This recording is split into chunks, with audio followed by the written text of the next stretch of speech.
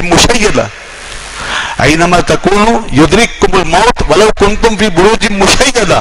تم جہاں کہیں بھی ہو، یہ موت تمہیں پہنچے گی، تمہیں ملے گی، تمہیں پالے گی. چاہے تم کتنے ہی بڑے بڑے برجوں میں کلوں میں، مضبوط کلوں میں بند ہو کے بیٹھ جاؤ کہ وہاں پہنچ جائے قرآن مجید فرماتا ہے، قُلْ اِنَّ الْمَوْتَ الَّذِي تفرون مِنْهُ فَإِنَّهُ ملاقيكم دیکھو، جس موت سے تم بھاگ رہے ہو نا یہ موت تمہیں ضرور ملے گی۔ یہ تم تک پہنچے۔ ملاقیکم اس میں فائل کے اندر شدت پیدا ہو جاتی ہے۔ فیل کے مقابلے میں، اس میں فائل میں کسی کام کے ہونے کی طرف شدت زیادہ پائی جاتی ہے۔ اللہ نے فرمایا ملاقیکم مل کے رہے گی۔ اس انداز سے فرمایا، یہ تمہیں مل کے رہے گی، تمہیں پا کے رہے گی، تم سے ملاقات کر کے رہے گی۔ ثم تولدون الى عالم الغیب والشہادہ۔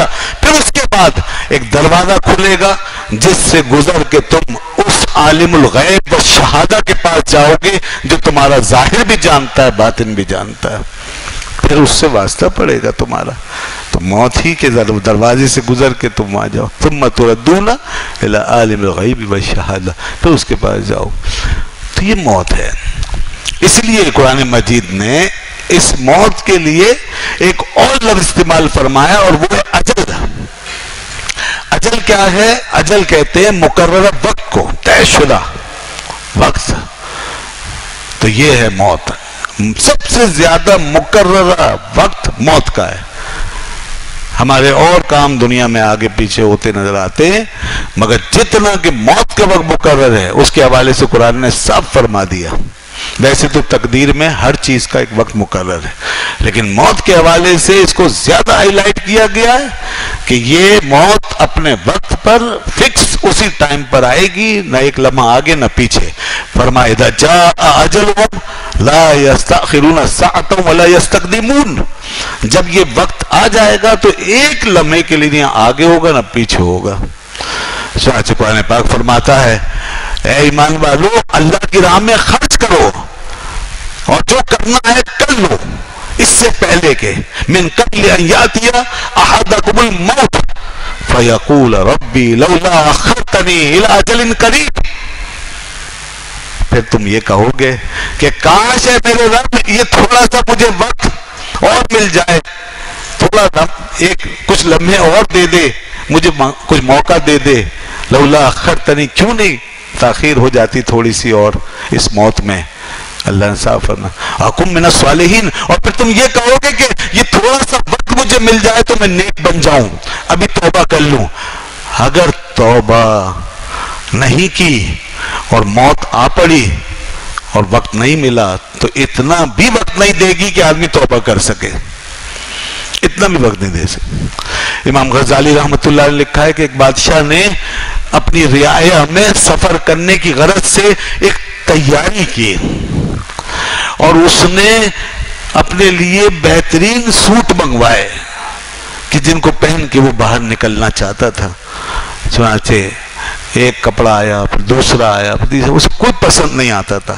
پھر بہترین لباس جو اسے لگا، وہ اس نے چوز کر لیا اور کہا یہ مجھے چاہیے پھر سواریاں منگوائیں اور اس میں بھی کئی سواریاں رد کر کے پھر جو بہترین سواری تھی وہ اس نے پسند کی اس کے بعد وہ وقت مقرر پر بہترین کپڑا پہن کے بہترین سواری کے اوپر سوار ہو کے اور ہزاروں کا لشکر لے کر اپنے ارد گرد بہت سے سپاہی اور فوج لے کر بڑے کر فر کے ساتھ بڑے تم تراک کے ساتھ اپنے محل سے باہر آیا جب وہ باہر نکلا تو لوگ دیکھتے تھے بادشاہ کی کیا شان ہے۔ مگر بادشاہ کے اندر لوگوں کے لیے کوئی رحم دلی نہیں تھی، اس لیے کہ وہ تو اپنی ذات کے پنجرے میں بند تکبر سے پھر گیا۔ شیطان نے اس کے دل میں تکبر ڈال دیا۔ اب وہ لوگوں کی طرف تکبرانہ انداز سے دیکھ رہا تھا اور آنکھ بھر کے دیکھنا بھی گوارا نہیں کرتا تھا۔ اس طریقے سے وہ اب اکڑتا ہوا اور اتراتا ہوا چل رہا ہے۔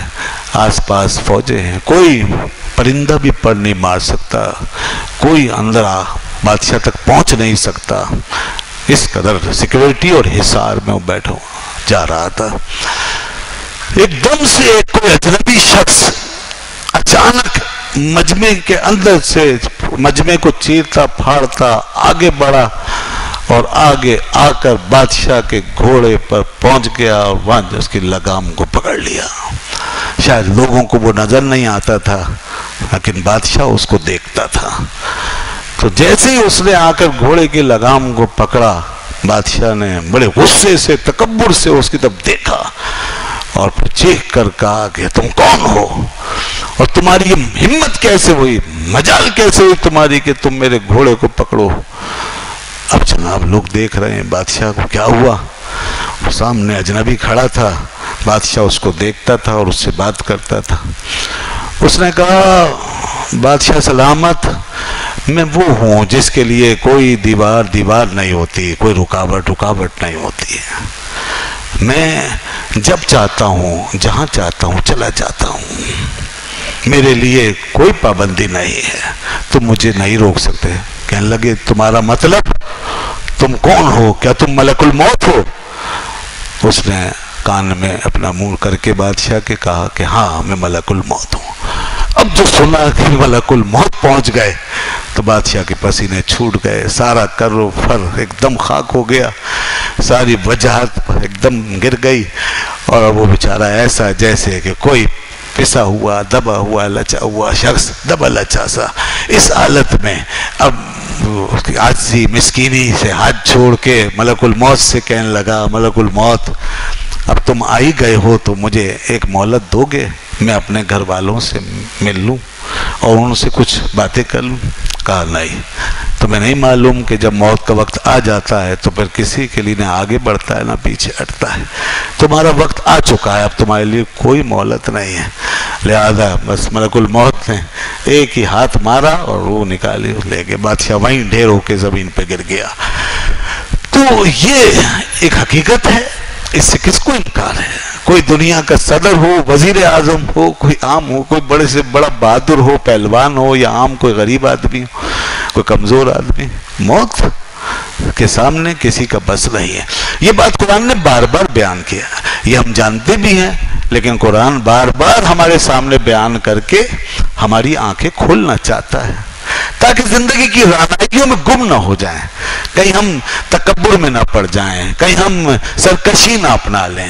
کہیں ہم ظلم کے سلسلوں کو اسی طرح طول نہ دیتے چلے جائیں۔ اس لیے اگر موت کا تصور لوگوں کے ذہنوں میں آ جائے، تو کوئی ظالم نہ رہے، کوئی متکبر نہ رہے، کوئی سرکش نہ رہے، کوئی بدماش نہ رہے۔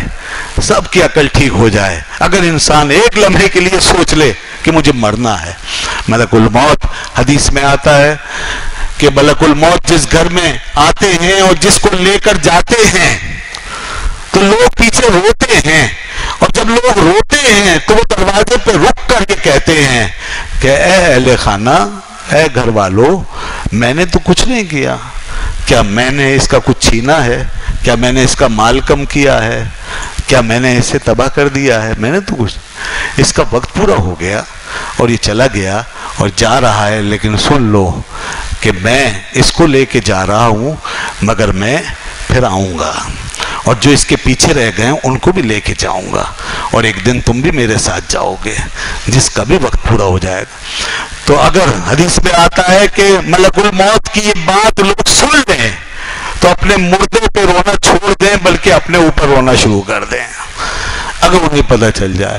چنانچہ، اور ایک اور موقع پہ رسول رسول اللہ صلی اللہ علیہ وآلہ وسلم نے ارشاد فرمایا کہ جو کچھ انسان جانتا ہے موت کے بارے میں، اگر حیوانوں کو اتنا علم ہو جائے تو تمہیں کوئی چھوٹا جانور، کوئی موٹا جانور کھانے کو نہ ملے۔ انسان کے پاس جتنا علم ہے۔ تو مقصد یہ ہے کہ انسان موت کا تصور کر کے اپنی اصلاح کرے۔ اسی لیے اللہ نے اس کو رکھا ہے۔ تو یہ بربادی نہیں ہے، یہ ہلاکت نہیں ہے۔ یہ ہمارے اس نظام کائنات کا ایک حصہ ہے۔ یہ زندگی کا ایک جذب ترکیبی ہے۔ اس میں امہال نہیں ہے ایبسرڈیٹی نہیں ہے۔